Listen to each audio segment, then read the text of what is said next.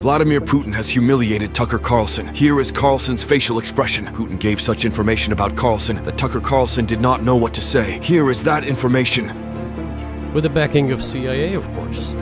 The organization you wanted to join back in the day, as I understand. We should thank God they didn't let you in. Although, it is a serious organization. I understand.